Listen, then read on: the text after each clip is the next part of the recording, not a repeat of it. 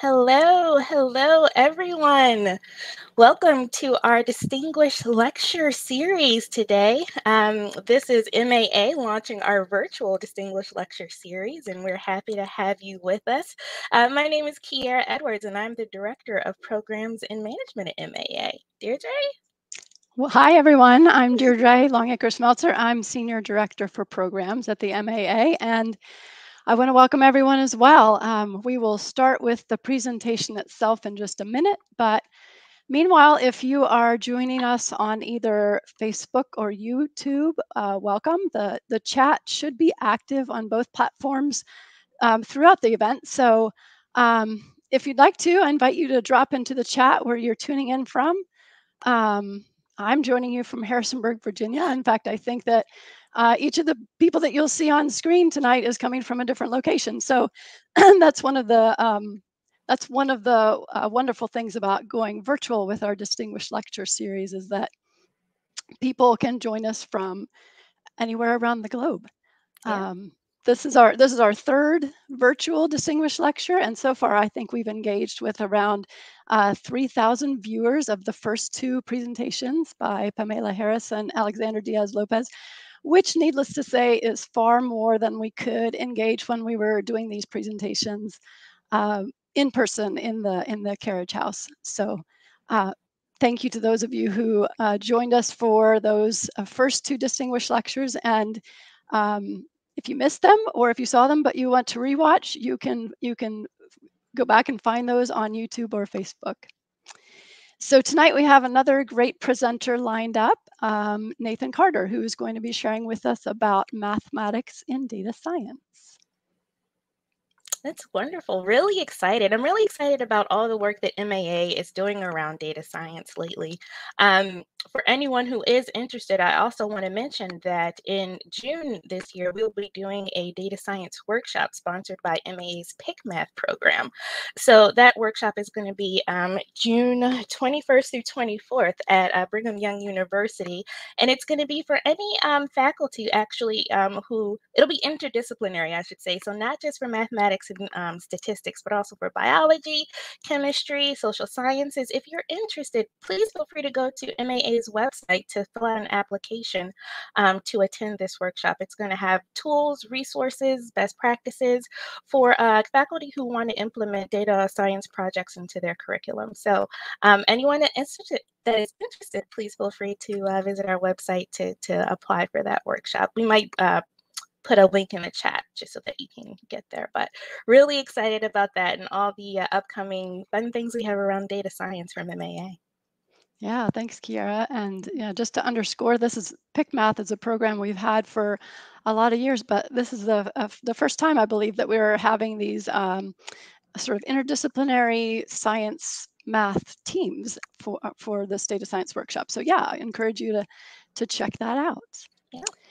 All right. Well, we are um, just closing in on the top of the hour. So um, we can start with the program itself in, in just a minute here. I want to welcome everyone again who, um, if you're joining us for tonight's um, virtual distinguished lecture. Um, I am delighted to um, to have you here for the for the featured event tonight. Um, I want to highlight again that the, the chat is available on both YouTube and Facebook, so feel free to use that as a venue for um, questions or to respond to uh, points that the speakers may, has made. Um, we will have time at the end of the presentation for Q&A with our speaker, Nathan Carter. So um, you can plop your questions in at any point or save them for the end when we will engage with uh, Dr. Carter in that way. So, and with that, I will invite the MAA Executive Director, uh, Dr. Michael Pearson, to join us to introduce the speaker for tonight. Welcome, Michael. Thank you, Deirdre. It's great to be here with everybody. Looking forward to it.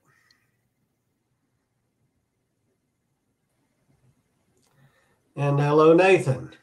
Great to have you here. Yeah, thank you.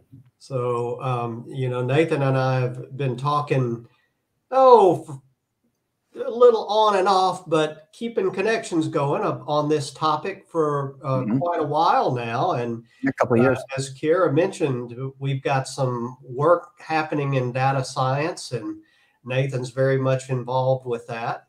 So uh, I'm looking forward to hearing what you have to say about it tonight. So, by way of introduction, Dr. Carter works in the interplay between mathematics and computer science and particularly mathematical visualization and data science. He recently was the lead editor for Data Science for Mathematicians, which was published by Taylor and Francis in 2020. Nathan is currently serving as Wilder Teaching Professor at Bentley University in Waltham, Massachusetts, which is near Boston. And I want to note that this is a prestigious named chair devoted to support of teaching, where Nathan works across the disciplines at at uh, um, Bentley to to advance the uh, quality of teaching, uh, particularly in STEM. So that's that's really a, a great great thing. Nathan has received the Bentley uh, Innovation in Teaching Award three times. Most recently in 2016 in 2010, the MAA recognized Nathan's teaching excellence with the Alder Award. And also in 2021, Nathan received the MAA's Beckenbach Book Prize for his Introduction to the Mathematics of Computer Graphics, which the MAA published in 2016. So Nathan's been racking up the accolades over the years, and we're proud to have him on. Um, let, I'll say you're on our team, Nathan. Yeah. Now, I I did uh, try to try to get some dirt, try to find some anecdotes. You know, some little story about you. I, I called up Rick Cleary to see, you know, what little anecdotes I could get. Man, you must uh, uh, have threatened him not to say anything. He didn't give you up, so. But uh, Nathan, it, seriously, it's really great to have you here, and I'm looking forward to your talk. And I will turn it over to you to do just that. All right. Great. Thank you very much, Michael. I, I was going to say, if you had found some dirt, I would have been disappointed. There, I was not told in advance there was going to be hazing before the talk. So I, I'm glad you did not find anything. Thank you. All right, great. So I'm very excited to be able to talk to you about mathematics and data science. Um, Michael mentioned uh, that I worked with a team of people on a book called Data Science for Mathematicians, but you might call this talk more uh, data science for math students. I'm thinking that there's probably some undergraduate students in the audience, and uh, maybe you're majoring in math and you're thinking, I'm looking at a lot of the jobs out there and I'm seeing that they all seem to have data in the title, or a lot of them do. Is that what I have to do after I graduate? It seems that's what a lot of people are doing. Uh, so to help you think about that, I want to just tell you where does math show up in data science? Uh, where does the math that perhaps you've gotten to love in your math education, uh, where does that show up in data science so that you can, you know, know what data science is all about from a math point of view? So let's get into it. Uh, I want to first, of course, start with saying what is data science so we know what we're talking about. And I've got a little definition here that's got uh, three parts.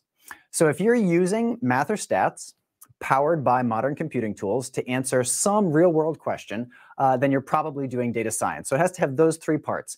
And the data scientist has to have a little bit of expertise in at least each of those three things. Uh, so let's look at some examples. I'll put I'll put this definition sort of as a little equation on the top of the next slide. Data science is those three things added together. And uh, if we look at these four questions here, they're from different areas of human interest, and each of them can be a data science question. So let's see how that is. If we look at the first question on the list, uh, do the US government's records of mortgage applications reveal any patterns of discrimination? All right, now let's think how each piece of the definition relates to that question. So why would a data scientist need to know some math and stats if they wanted to attack that question? Uh, well, if you're looking at the data, you might say, hey, this pattern looks like that might be discrimination. Is that a real pattern or a coincidence? And math and stats have the tools to tell real patterns from coincidences. So that's why math and stats is valuable. How about computing tools? Why would that be needed? Um, well, this government database that I'm talking about and that some of my students have looked at uh, each year, it has about 15 million entries, so you definitely need some computing power to look into that database. Uh, and then why would you need to know something about the application domain, uh, in this case, mortgages, uh, in order to answer the question? Well, the database has terms in it like rate spread and loan prospector and subordinate lien. And if we don't know what those things are, we can't even use that data. So the data scientist also needs some knowledge of the application domain or somebody they can go to ask questions about the application domain. Uh, now, these other questions we're not going to go into in as much detail, but I put the sports one up there because I remember talking about that with my brother who's into fantasy league baseball. Uh, I put the business one up there because I have a friend who just went into a startup, uh, and the purpose of that startup is to answer that question for their clients. Uh, and I put the public health one up there because we're going to actually look at that during the course of this talk. And here's the outline we're going to follow. Uh, we're going to break this into three parts, sort of uh, in increasing order of difficulty. Uh, we're going to start with the basic things that people do with data, called I'm calling that section working with data, and we're going to fill in those empty bullet points with what math shows up there. And we'll see a lot of basic mathematics that you can run into in a high school math education shows up whenever you're doing any of the most basic operations of working with data. Uh, then we're going to go one level higher and say, what about when I'm sort of being strategic and putting those steps together into an analysis that, that analysis that has some, you know, rational flow to it, trying to answer a question, what math shows up there? And we'll make a list, and that'll be uh, some more higher level math that shows up in uh, most undergraduate students' college math education. Uh, and then at the end, we'll sort of uh, see what people are doing on the frontiers of the field and see what math shows up as we try to attack uh, some unsolved problems. So that's the outline. And uh, I want to begin by looking at the, uh, the first section I talked about, the basic steps of working with data. And to do that, let's make it concrete by bringing up an actual table of data. Since I know nobody out there is sick of COVID, we'll talk about some vaccination data. Uh, so if you have access to the chat, go ahead and uh, put in the chat anything you want to say about the table of data that I've put on the screen. You could ask a question, you can make an observation, you can have an insight, whatever you want. Go ahead and type it into the chat. And uh, while you do that, I'll mention that uh, if this were, an, if we were going to do an actual data project with uh, this data set, we would need to know uh, what each one of these columns uh, means. We would need to know how this data was collected. Uh, you know, there's a lot of things that we would get very specific about, but for the purpose of this talk, we're just going to, you know, take it as it is and be sort of informal. All right, so let's see what uh, what kind of thoughts people have put into the chat. All right, everybody's being shy. That's okay. I suspect one of the questions that's in your mind is what does NaN mean? Why is that in there? These are supposed to be numbers. Uh, what's that all about? So the uh, the software tool I was using uh, uses the uh, NaN to mean not a number, or uh, we don't have a number to put in that cell of the table. There's some missing values, uh, and that's actually one thing that you know whenever you're working with with data, there may be missing values, and that's an important thing to think about. And we'll see that show up in a moment. All right, so let's think about uh, what are the most common things you'd want to do with just about any data like this in a data project. Well, the very first thing we'd probably want to do, the absolute simplest thing you can do with data is look up something in the table. Right now, if this was a table you could print out, you just look at the table and use your finger and find the answer you wanted. Um, but if I want to answer a question like the one on the slide with a table of data this big, uh, I'm going to use a computer to do it because there's thousands and thousands of rows in this table. So if I wanted to ask, you know, how many people per hundred were vaccinated in a certain state on a certain date, uh, you know, the idea is we'd be looking down that those first two columns to find the date and state, and then go over to the people vaccinated per 100 column until we found the number we're looking for. And uh, I was doing this uh, data analysis in Python because lots of data scientists use Python. Uh, it doesn't really matter what software you, you're using, but if I were going to do that lookup, I would probably write one line of Python code that would look up that value. But as soon as I write a line of code that can look that up, then anybody could come along and change Alabama to some other state and change the date to a different date. And so once I've automated something, I really haven't just looked up one value. I've actually created what in math we call a function to look up values, right? A function is something that takes inputs and gives you the corresponding output. And as soon as I have, you know, begin to think of this as a function, then various questions show up. Like, first of all, is it even really a function? Does it pass the vertical line test? Uh, which in this case would mean, uh, did any state ever report the numbers twice on the same day? Uh, so if I were to look up the date and the state, I'd get more than one number, and I'd wonder which one of these things is the actual output. Uh, or does it matter if I look up a state and a date and I get NaN as the output? Does it matter if a value is missing? And uh, what dates and states am I allowed to plug into that function? So even with just this simplest thing we want to do with data, just look up a number, we've got all these questions arising. And they're all actually math questions. If you think about, you know, the difference between a function and a relation, like does it pass the vertical line test, and, and what is a function, and functions can take more than one input. And, and when we think about uh, what I'm allowed to plug into the function, that's the domain, and what I might get out, that's the range. So all these really basic things that you talk about, even in a high school algebra class, show up in the simplest operation of working with data, just looking up a value. Okay, how about something a little more interesting than just looking up a value? How about making a data visualization? So I might have a question like, how has the vaccine distribution gone in my state? My state's Massachusetts, so here's the picture for Massachusetts. Uh, this data spanned uh, most of the months in 2021, so there's actually, you could extend this a little further now, um, but this is 2021 data. Now, I made this picture because uh, time is you know an independent variable and then the vaccinations are dependent on that so it made sense to sort of graph it kind of looking like a curve uh, it's not really a curve it's a lot of little points that look like a curve um, but this is a good way to graph it because of the kind of data i had if I'd had a different kind of data, I would have needed to make a different kind of picture. Uh, for example, here's a couple of different uh, common types of data you might run into and the ways that we typically visualize them.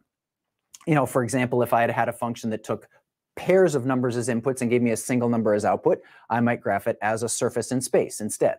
Or if I had had a set of numbers, not pairs, I might have graphed it as a histogram to see the distribution. So being able to identify what kind of data I've got is important if I'm going to be able to make a picture of it.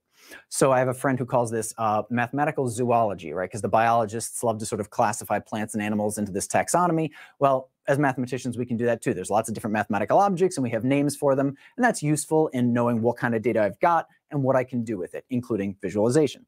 So let's go ahead and put that stuff on our list too.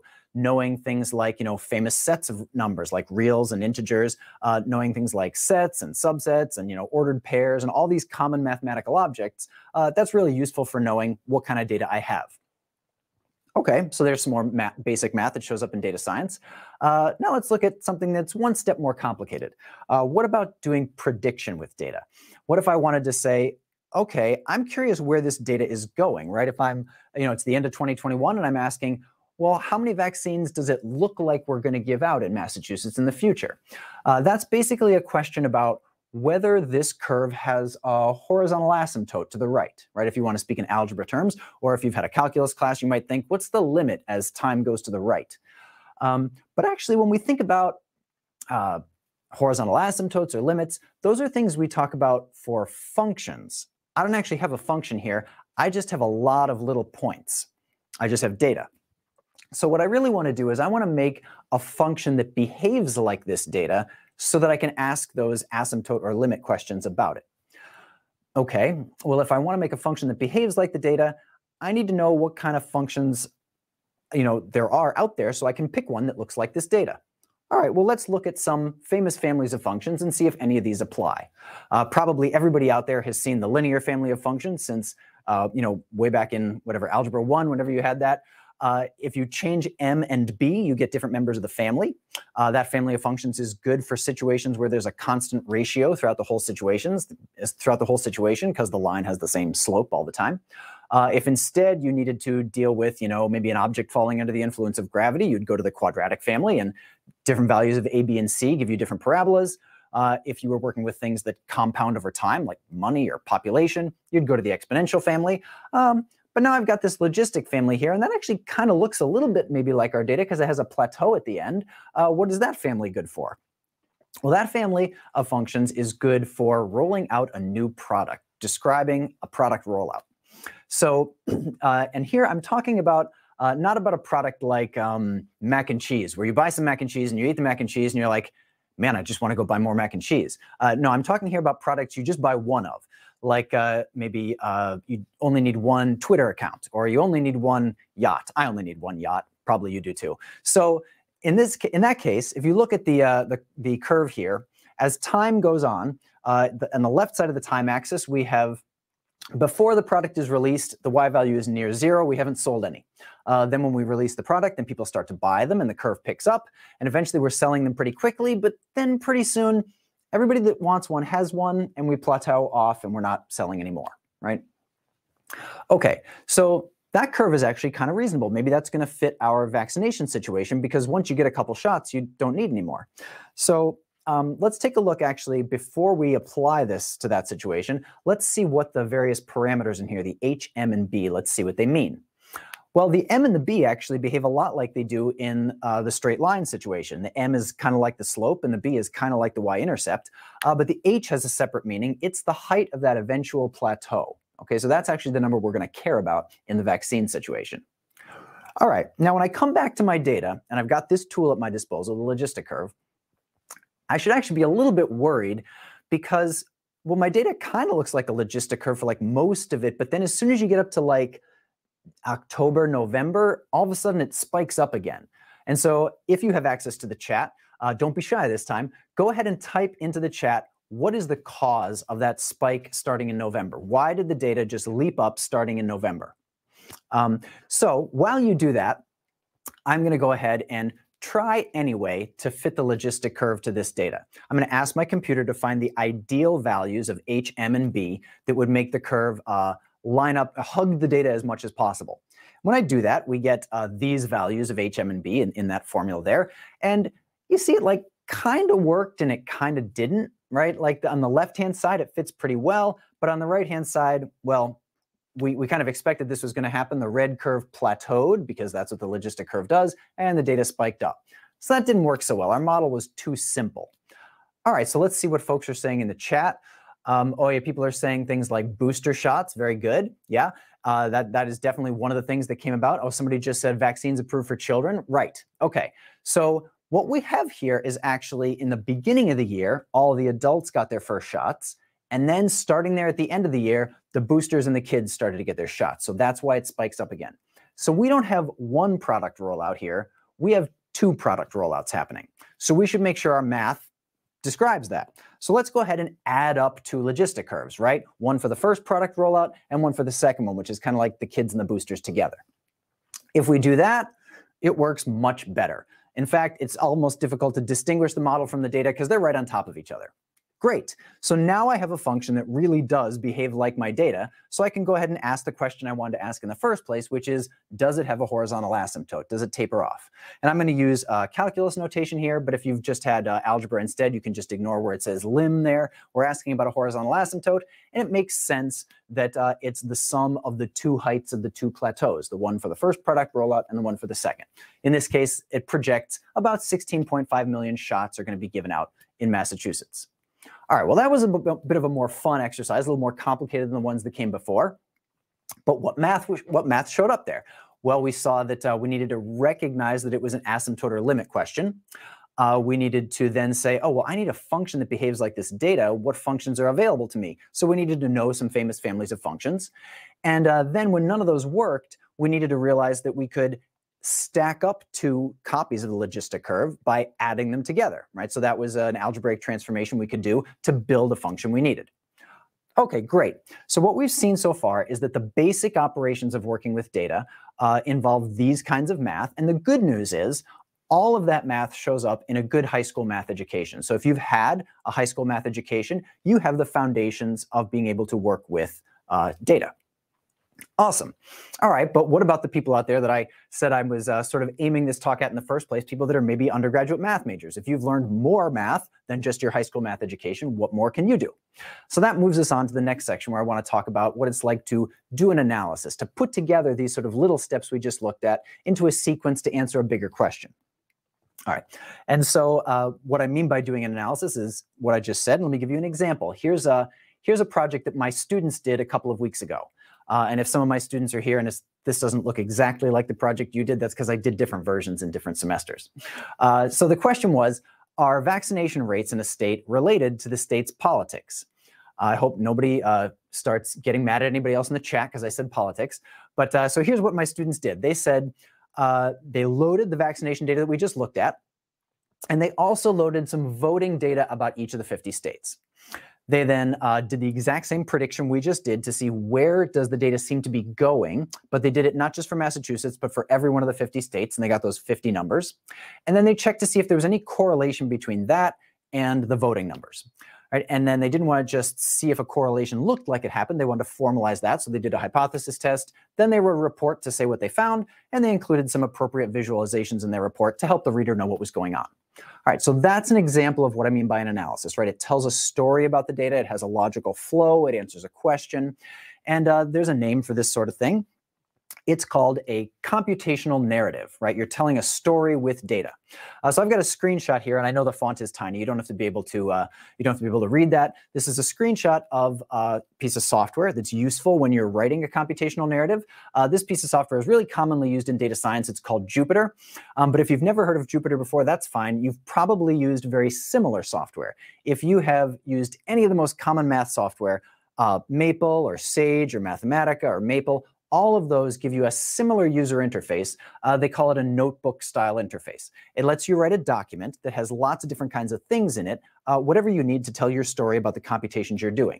Uh, so for example, here, even though we can't, uh, even though we don't need to zoom in, we can see that uh, we're allowed to put in headings uh, to sort of break our document up into logical sections. We're allowed to put tables so we can see our data. Uh, we're allowed to write math formulas if we want to describe an equation we're using. Uh, we're allowed to write code that's going to actually be run in the document and do something. Uh, maybe it outputs like a graph that we would want to see.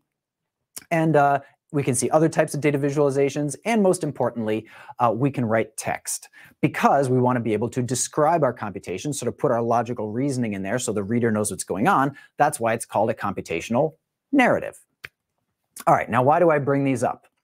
Well, I bring them up because the main thing I want to uh, get across about these is that computational narratives are actually a lot like proofs. So if you've had a college math education, you've taken some more advanced classes, and you're thinking, what can I do with this stuff? Well, any of those classes you took that involve proofs uh, prepare you very well for doing computational narratives. There's a lot of things in common between the two. And so to, to make that a little more concrete, let me pull out just a little piece from a computational narrative and let's look at it together. So here's one step from that computational narrative about vaccines. Uh, it says, it asks the question, uh, you know, what time frame does the data cover? And there's a single line of Python code. And if you don't speak Python, I'll just tell you what that means. It lifts the first and last entries from the date column. Okay. And then the text afterwards says, oh, yeah, so we did that, and here are the dates we found. Now, there's a couple of things to notice that are in common between computational narratives and proofs. Uh, first of all, the goal in both cases is always to figure out what's true. That's the goal. And on the way to figuring out what's true, uh, we're going to be assembling evidence. And as we assemble that evidence, we're probably going to need to get into some technical details. And in a proof, those technical details are usually various kinds of math, whereas in a computational narrative, they're usually code. Um, but uh, similar skills apply. And in each case, there is a uh, there's certain kinds of deductions you're allowed to do and certain kinds of deductions you're not allowed to do. So there's a lot of similarities there. And uh, in fact, when we get into that question of am I allowed to take this step of reasoning or am I not, uh, you might uh, you might bring in and uh, bring to bear the skepticism and checking of assumptions that you learned uh, when doing proofs. And in fact, in this case right here, when we look at this step of work, we'd say, was this the right thing to do? Uh, in fact, when we think back to the data that we saw, the table of data we saw was sorted not by dates, but it was sorted by states. So maybe taking the first and last entries in the column was actually a bad idea. So that skepticism and sort of questioning of your assumptions from proofs comes over to help you also question assumptions in your computational narratives and make sure you're doing the right kinds of deduction there as well. And also, the way that you would fill in the gaps in your reasoning and, and sort of plug those holes uh, also transfers over well from doing proofs. Uh, if you found a gap in a proof you were working on, you'd probably go check the official definition in the textbook or go look up some theorems in your notes you might use. And you can do a similar thing here. I could go check the official software documentation for the tools I'm using to see if there's anything they could, you know, that I could bring to bear on solving this problem. And I might find that, uh, sorry, I got too many buttons in front of me. Sometimes I'm looking at the wrong thing. Uh, I might find that there is a tool in there for doing taking the minimum and maximum of a column of dates, and that's guaranteed to give me the earliest and the latest. So I could fix my mistake that way. All right, so what have we learned? We've seen that uh, having skepticism and questioning your assumptions is a skill that you learn when doing proofs, and that comes over really well to, uh, to doing uh, writing computational narratives. And also, uh, that using official definitions is something that we often, in you know, checking the uh, the official source of the theorems is something we do to fill in holes in our proofs, and that works out uh, to be a really good skill for filling in gaps in our computational narratives as well. And it's not just the fact that like I like math, I like to teach math, that I say, oh yeah, you should always check your assumptions. Uh, I want to prove that to you. I want to show you here a screenshot of a website from a company called Superconductive, and they put out a product called Great Expectations. And the way that product works is it lets a data scientist state the expectations they have for a data set. And then the software will watch to see if those expectations, that is, those assumptions, stay true over time. And if they don't, it will notify the data scientist right away so that they don't draw conclusions or deliver a product to a customer that's wrong. So it's not just like, oh yeah, math professors like to say you should always check your assumptions. No, even more than that, there are people out there who are making money checking assumptions. So it's a very valuable thing to do. Okay, so the next thing that, that I also want to show you some more connections between proofs and computational narratives, but I need an example proof in order to do that. You don't have to read the proof if you don't want to. I mean, you can if you want to. If you really like reading proofs, go right ahead. Um, but if you have not had a class that involved proofs like this one, uh, that's okay. You can just think back to your high school geometry class and imagine this is a proof about shapes instead. We're not going to get into the details of it. Here's what I want you to do. I want you to imagine uh, that you were in a class where your instructor had given you this proof to do for homework. They had said, prove to me that every prime number bigger than three is adjacent to a multiple of six. All right, so then now I want you to imagine that you were halfway done doing that homework assignment. Okay, so maybe you were here at point A, you'd written the first paragraph, and you uh, and were thinking, oh, now what do I do next? All right, so what are the kinds of things that come to mind? Well, you probably want to think, uh, is my instructor going to buy all the stuff I've written so far? Is this right? And you probably want to think, well, based on that stuff, what am I allowed to say next? And you know, questions like that come to mind. And then when you get down further and you're at point B, very similar things come to mind, but you've said more stuff, so you have more to build on right? So you care about what your reader will accept and what they know based on what you've said at each point in a proof, right? That's something you're very familiar with if you've written proofs. And a really similar thing happens when you're writing a computational narrative.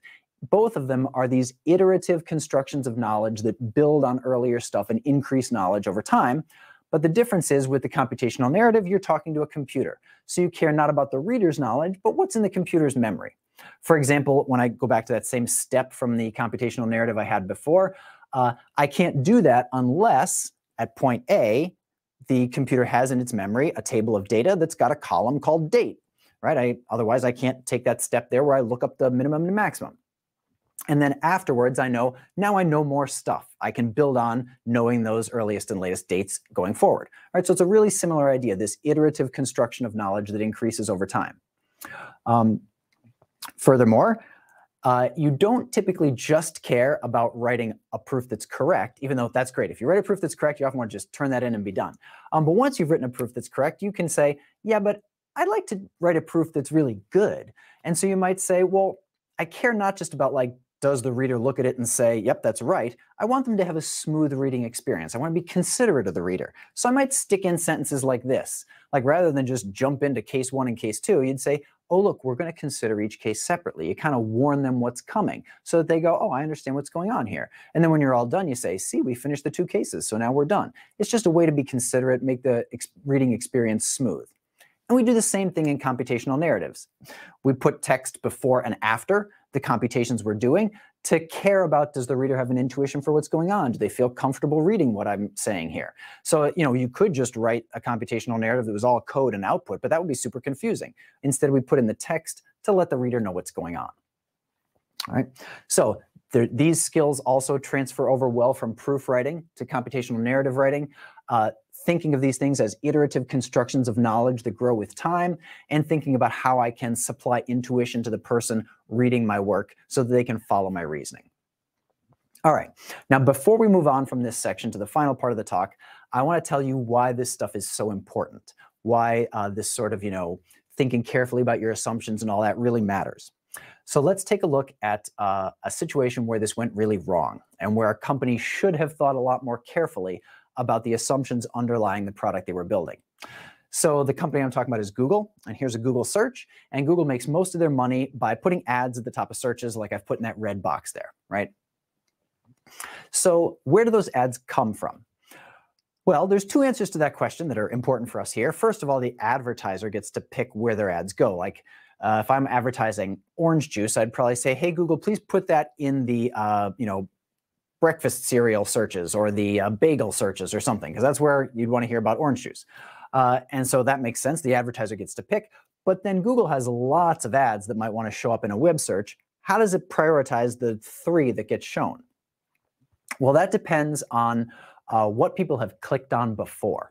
So if lots of people click on an ad, then Google prioritizes that more highly for future web searches. And if nobody clicks on it, it gets prioritized lower. And that kind of makes sense, right? Like if other people clicked on it, didn't click on it, I probably don't want to see it. That, that makes sense. Until we state that assumption more formally and look at it a little more skeptically.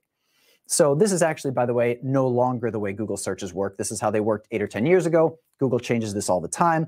Um, but at that time, if you had formalized that assumption, you might say that Google was stating this.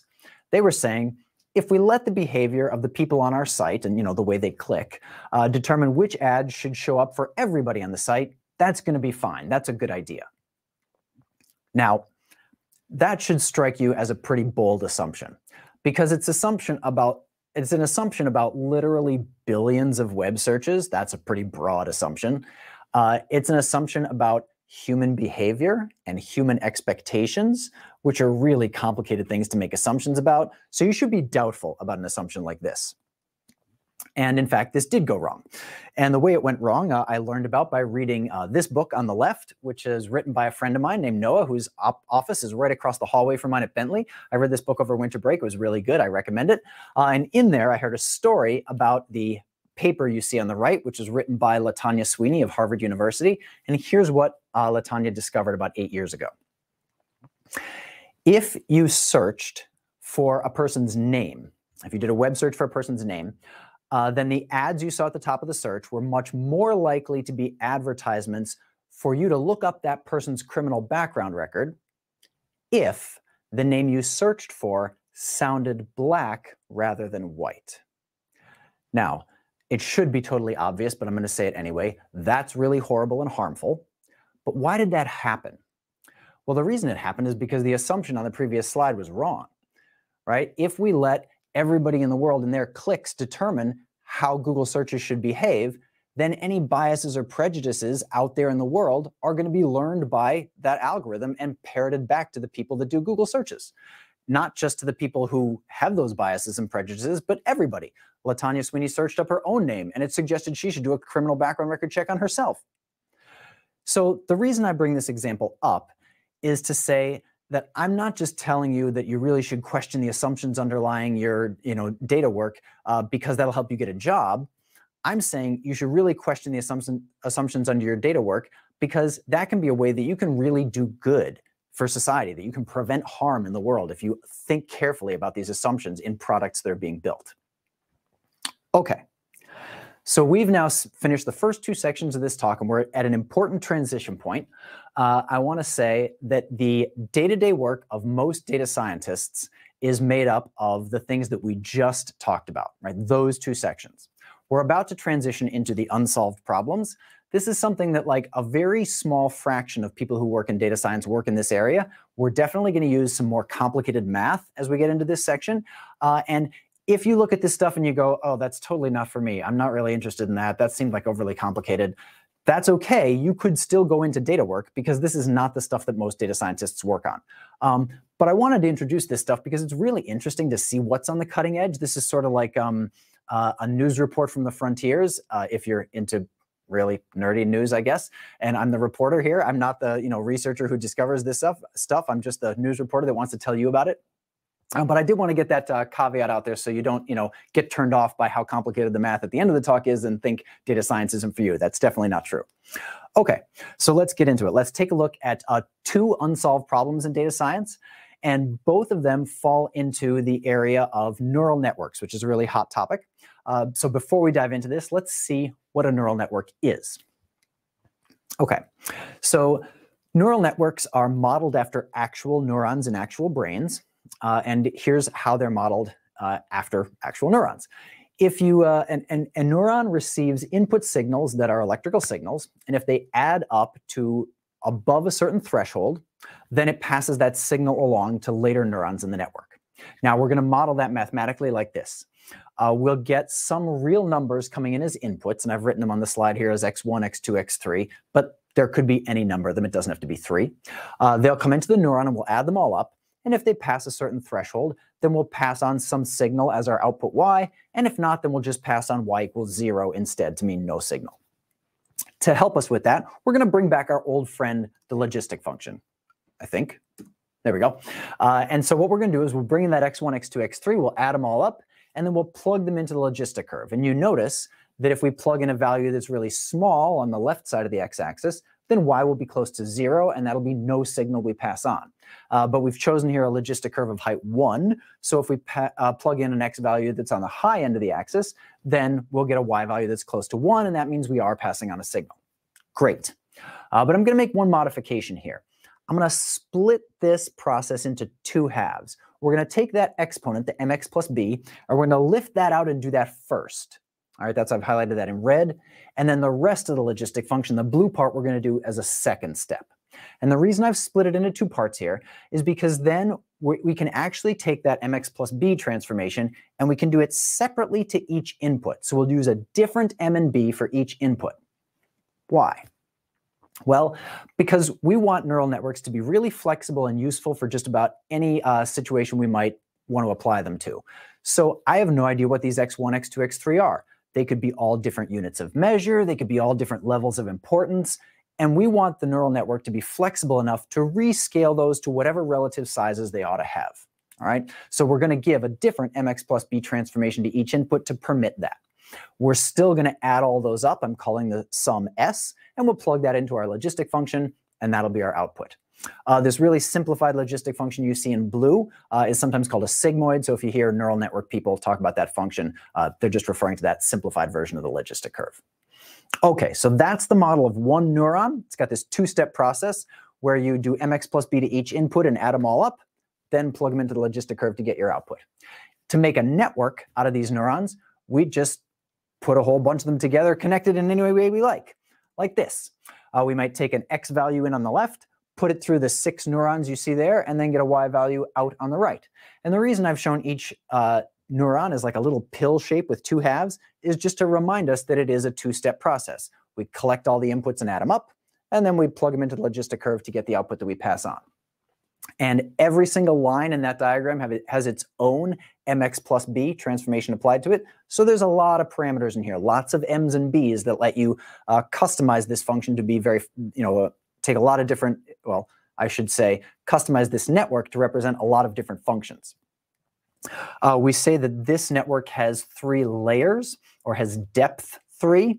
And it, because there are two neurons in each layer, we say it has width two. But uh, we don't have to keep our networks this small. We can make bigger ones.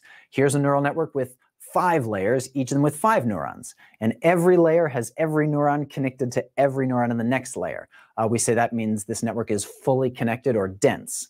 Uh, but as soon as we start to draw pictures this busy, we're like, yeah, that's too much to draw. Let's just write it like this instead. It's a five by five grid, fully connected. Then we don't have to draw that picture and everybody knows what's going on. Okay, so I've said a couple of times so far that neural networks are really flexible. So let me show you what I mean. If you think back to the first family of function, functions we looked at, the linear family, they're all lines. There's not a lot of variety there. And then the second family was all parabolas, not a lot of variety. So now let's look at some example functions from this family right here, the functions you could make by using a network of that shape. When we graph them, we get lots of different shapes. Right here are just six examples from this infinite family, and you see they're not at all all the same thing. They're very different from one another. So that's what I mean when I say that neural networks are really flexible.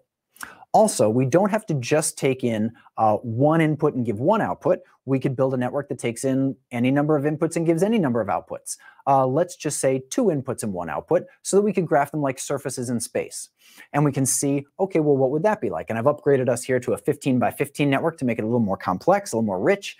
And we see that we get surfaces like this. See, they're really wavy, really flexible, lots of different shapes they can take on. Here's two more from the same family. Okay, so neural networks can make functions with lots of different shapes that are pretty intricate. Great, what do we use them for?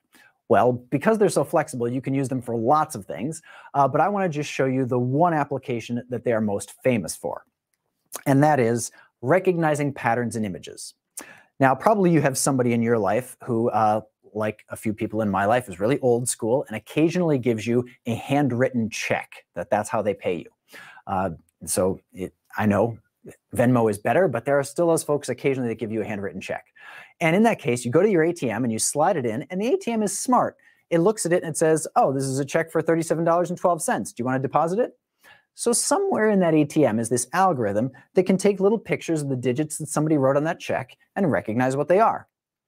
Now that seems like a hard algorithm to write, but we're going to see that neural networks actually make it easy. Uh, there's a famous data set out there called the uh, that's put out by the National Institute for Standards and Technology, and it's a whole bunch of little photographs of digits like that, uh, and their corresponding the integer that's actually drawn in them, so that if you were going to make an algorithm like this, you can use it for testing your algorithm and seeing if it's any good. Uh, and those images are 28 by 28 little photographs, uh, little grayscale images. So this algorithm we're trying to think about is actually, it takes 784 inputs, right? That's 28 times 28 pixels. And it's supposed to produce one output, the number that's drawn in there. That seems like a challenging algorithm to invent. Um, but like I said, neural networks make it easy. And here's how. You take those 784 inputs and you line all of them up as the inputs to the network, right? So here they are on the left side of the screen, one giant column, X number one through X 784. And then on the right-hand side, you'd expect there to be one output, just one integer y. Um, but it turns out that uh, some clever folks have decided that it works better if we instead uh, compute the probabilities of each different digit and just pick the biggest one. We don't need to worry about those details. The question is, what do we put in between? And the answer is, all you have to do is put in between one single layer of just 32 neurons and connect everything uh, densely. And then you hand this network the data set that the National Institute of Standards and Technology provided of all those little photographs, and you ask your computer to optimize the parameters in this network, all the M's and B's, to learn from that data set.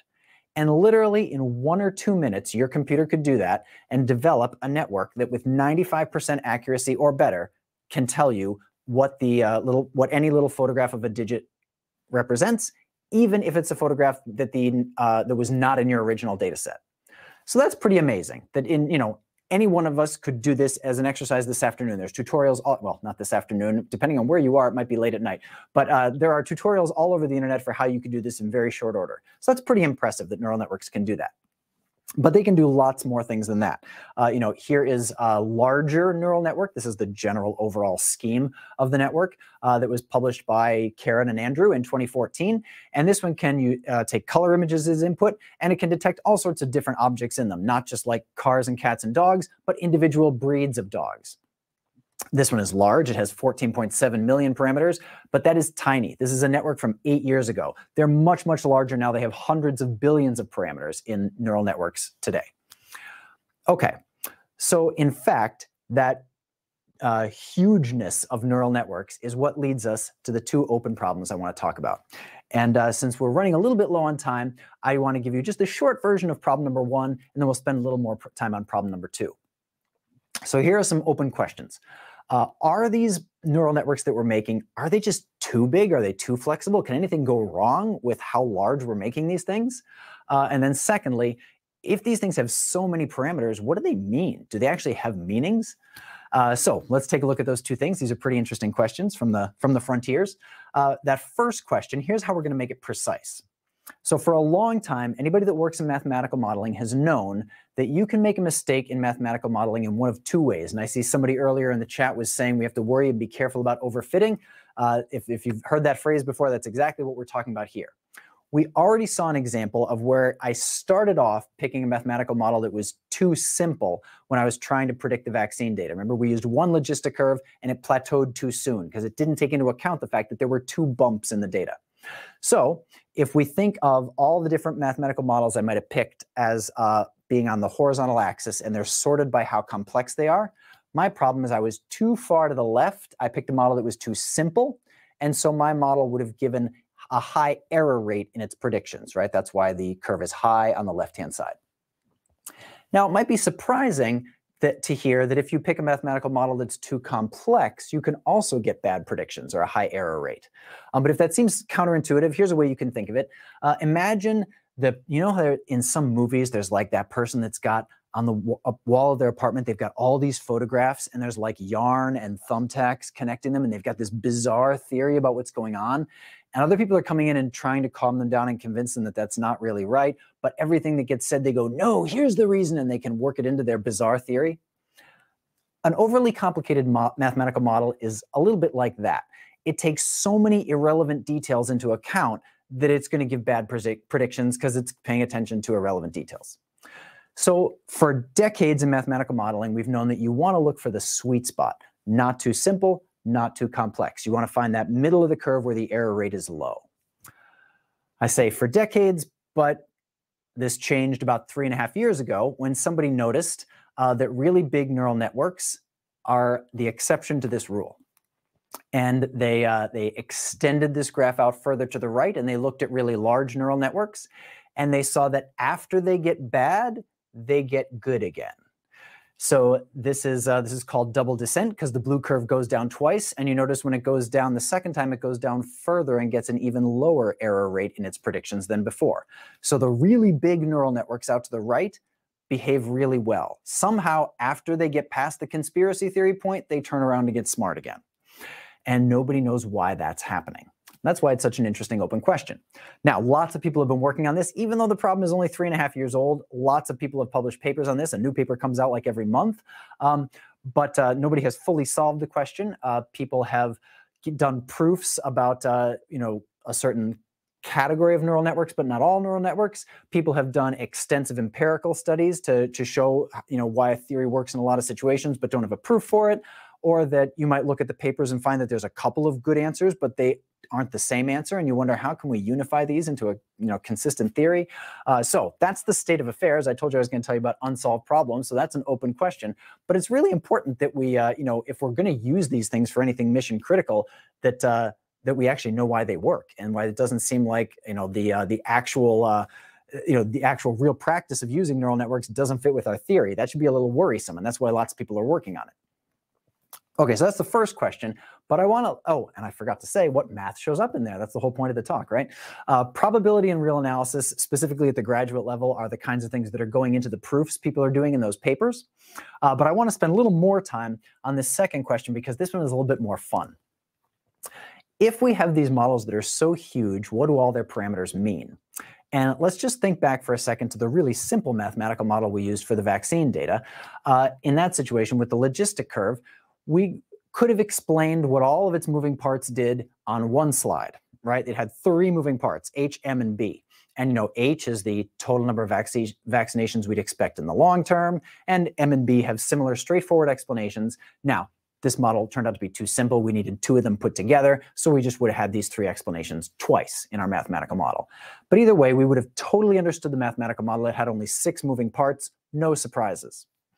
As soon as we move up to even just this neural network from eight years ago, and we pick out one of the millions of parameters from the middle of it and say, what does that one mean? Well, how do you even begin to think about that question? But it's a really important question. Like when we think back to the Latanya Sweeney example, we remember, well, we, you know, Google built a data product, a mathematical model that did things that were bad and unexpected. How do we prevent that? We want to totally understand what this thing might do. And so, you know, we don't want to just say, yeah, we don't know, it works great, let's just keep using it. We want to know what's going on. So again, this is an unsolved problem, so I don't have an answer, but I can show you some cool progress that people have made. Uh, and I'm going to take this slide and I'm going to move it to the top of the screen so that we can make some notes below it. And, uh, and so I'm going to tell you about one idea that one research team had. Here's what they said. Well, we can't, we can't figure out exactly what every parameter in the network means, but there are certain clusters of neurons that go together in a specific way we're not going to talk about here. And we can find a way to interpret those. And here's how they did it. They said, uh, there's an optimization technique that, that we use when we are making these networks uh, learn from data. That optimization technique finds the best values of the parameters in the network to, to learn from the data. So let's take that same optimization technique and use it for something else. And here's what their idea was. Let's instead optimize the input image to maximally stimulate that little cluster of neurons that we want to understand. All right, so let me just say that again. We want to come up with, we're going to synthesize an input image to light up the cluster of neurons we want to interpret. And then we'll have a picture of what those uh, what that cluster of neurons means. Okay, now I'm going to ask you the coolest question that you're going to be asked today, for sure, hands down. Are you ready? Would you like to see a picture of the things that go on inside an artificial brain? That has got to be the coolest question you're going to be asked today. Are you ready? I'm going to hit the button. Okay, that's actually a pretty serious letdown. That's a super boring picture, but that's okay. There's a reason for that because I chose to look at a cluster of neurons that was really near the beginning of the network, over near the inputs. And as the layers go by, things actually increase in complexity. Later layers build on earlier layers and make more complex patterns. So let's march through the layers of the network and see what happens, okay? So uh, if we move on a little bit further, uh, here's uh, what a later cluster of neurons in the network uh, is most activated by. It's most excited by pictures like this. Uh, ignore the colors and just pay attention to the patterns of the textures. That kind of looks like leather to me which would suggest that uh, this network, as it was learning, realized that one of the nice tools it would be good to have in its toolbox was the ability to recognize leather. So some cluster of neurons got assigned that task and learned what that looked like. And if we go a little further, we get some more complex patterns. Uh, I don't know what that one on the left looked like to you. It looks like a lot of little ropes to me. I don't know. But the one on the right is clearly leafiness, right? There's a cluster of neurons in there that's good at detecting leafiness. That's pretty interesting. Okay, now you ready? We're going to go to the final layers of the network. And I want you to use the chat in a second here. I want you to look at that picture on the left and put in the chat what that looks like to you. All right. While you do that, I'm going to go ahead and describe what the one on the right looks like to me. Uh, it looks like stacks of boxes maybe seen from above at an angle, or maybe reams of paper, or like a flimsy apartment building. I don't know, but something rectilinear seen from above at an angle. And apparently it was important for this network to be able to detect when it was looking at a box from an angle. That was useful as one of the tools in its tool belt. Okay, so let's see what people are saying. We got a couple of different opinions there. Okay, oh, yeah, a bunch of different things. People are saying things like uh, bird heads and eyes. Uh, would you like to see the actual photograph from the original data set that this network learned from that stimulates the same cluster of neurons? Here it is. Okay, that cluster of neurons is the chicken head cluster. Isn't that so interesting? And there's another cluster of neurons that is also highly activated when we look at pictures of chickens. It's the feathery bodies with spindly legs under them neuron. That is so fascinating. Let, I mean, just stop and realize that like humanity built a tiny artificial brain and it learned that chickens are a thing. That's so cool. Now, regardless of the fact that that's really cool, it doesn't actually answer the question we originally asked, which was how can we interpret the, the parameters in this network? And instead, what we have is a way that we can kind of pull back the you know black box and look inside and say, oh, we kind of have some idea that what's going on in there is sensible and interesting, but we still just have you know pictures of clusters of neurons and they're sort of subjective to interpret. So the problem isn't solved, right? But at least we're peeling back the layers and making progress and seeing what's going on. Uh, if you'd like to know more about this particular project that generated these images, I got them from a blog post by Fabio Graetz, who's a data scientist. He did not invent this technique, uh, but he cites the original research paper that did. Uh, and by the way, all these slides are going to be, the MAA is going to post a link to all these slides so you can get to all these resources uh, at the end of the talk if you'd like. Um, but things like these open problems, uh, it's an exciting time to be in data science. These open problems, people make progress on them all the time. Just last month, Facebook put out a new product called Captum, which tries to assign a text description to neurons in a network. Uh, you'll still get thousands and thousands of those text descriptions for a large network, but you know, progress is being made. Nobody has totally solved these problems, but they're making progress. Uh, and of course, fitting with the theme of this talk, what kind of math did Fabio use? Uh, and what kind of math did the original research team use when they invented this technique? Well, the optimization technique that shows up everywhere in machine learning and that these folks used is called stochastic gradient descent. And it's built on two classes that just about everybody takes in their undergraduate math education. That is multivariable calculus and linear algebra. If you've had those two uh, classes, then you could understand stochastic gradient descent in five minutes. All right, so that finishes our tour of math and data science. But I just want to reiterate that these uh, these unsolved problems we saw at the end, this is not what most data scientists do day to day. That's the cutting edge stuff that's done by people who are uh, you know way more knowledgeable about this field than I am. Um, but if you do, or if you are considering being a data scientist, the topics from the first two sections of the talk are the uh, crucial things for you to uh, to know and love. All right, thank you very much for your attention. I would love to hear whatever your questions are. Uh, well, thank you. Thank you, Nathan. That was really outstanding uh, presentation. Um, so for those of you who are with us on uh, Facebook or YouTube, we are about to go into um, the Q&A session uh, virtually. So put in any uh, questions that you have or comments for Dr. Carter, and we'll get to that in just a minute. Um, I want to just uh, mention that, so this is our our third and final um, virtual distinguished lecture of the spring season. So the last one for this academic year. Um, we do have two more uh, presentations planned for the summer and then three for the fall season as well. Um, and so, so be watching for information about that. And in particular, um, in, in June, we have a presentation by Michael Lopez, who is um, a director of football data and anal analytics uh, with the National Football League, which you know might be a really nice uh, follow-up to this presentation. So, um, so encourage everybody to um, stay tuned for uh, more information about those upcoming talks. But meanwhile, back to you, Nathan. Um, I you, you did a really masterful job of uh, presenting some of sort of the key components of data science and making it really uh, clear, kind of running the gamut from, you know, an understanding of sets to uh, probability and multivariable calculus and, you know, uh, stochastic processes. So really showing how a uh, the full uh, a full range of um, mathematics uh, really serves um, a student or anyone well in understanding and doing data science. So thank you for that. Um, let's see if we have questions. Um, so um, yeah, there's a question from Cindy about advising someone with uh, a math major who is wanting to pursue a job in data science. Oh, great. Okay. So, first of all, I would say that if you just graduated with math major and you have a year of programming, you're actually in a great place.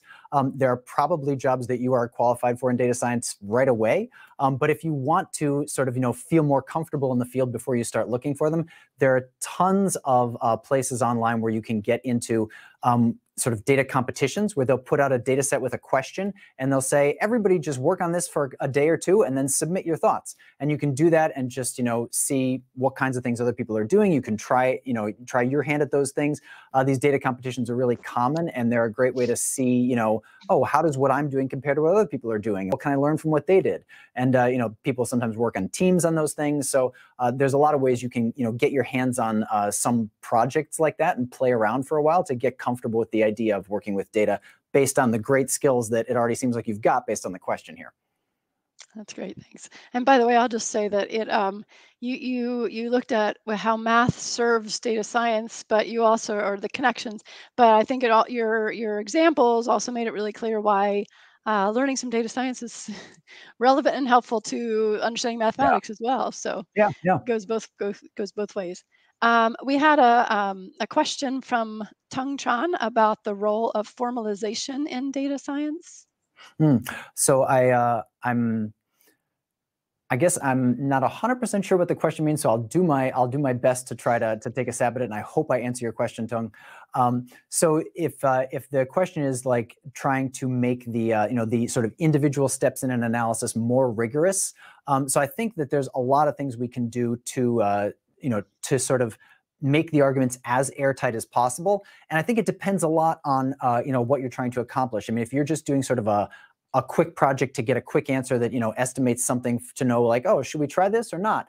Uh, then formalization is probably a waste of time in that situation. But if you're doing something mission critical where you really need to know that the conclusions you're drawing are, you know, something that you know very important decisions are being made based on them, then I think that uh, you know making sure that that argument is air, as airtight as possible and verifying every assumption in it in every way that you can uh, is crucial. And there are tools like that. You know, we uh, we saw one tool uh, as an example in this talk, the uh, you know the Great Expectations tool that tries to help you check your assumptions. And so, if that's what you mean by formalization, um, then I think it depends a lot on what project you're doing, and in some situations, it's critical.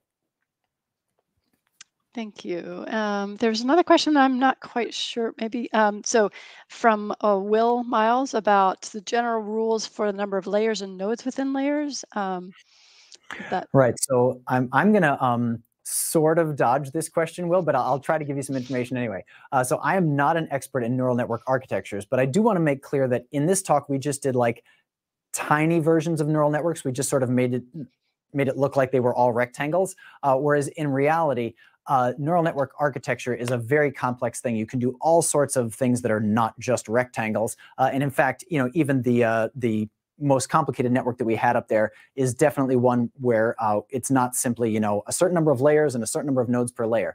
Uh, and especially when you get into language models there are networks that loop back on themselves so that they can have a, a memory. You know there are all sorts of levels of complexity of what people have invented and designing the right network architecture for a problem is a really complicated question. So I'm, I'm not really answering your question, except I'm just saying there's a lot more to it than how many layers and how many nodes.